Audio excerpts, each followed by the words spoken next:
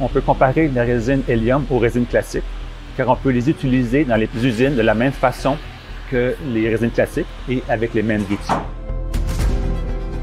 The Composites Development Center of Quebec has developed with Arkema a boat that is 100% recyclable.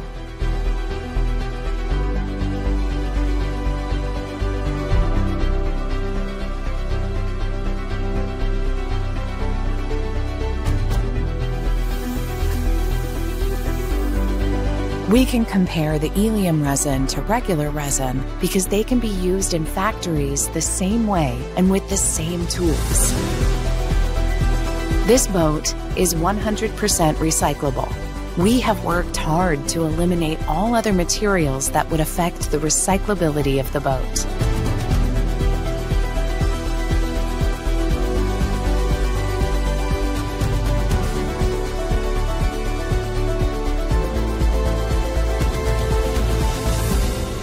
The foam is an important step. It stiffens the hull and it also allows you to have a buoyancy volume so that if the boat is filled with water, it will not sink. La mousse qu'on utilise sur ce bateau est de la même famille que la construction du bateau du composé. Donc on peut le recycler à la fin de la même façon que le composé.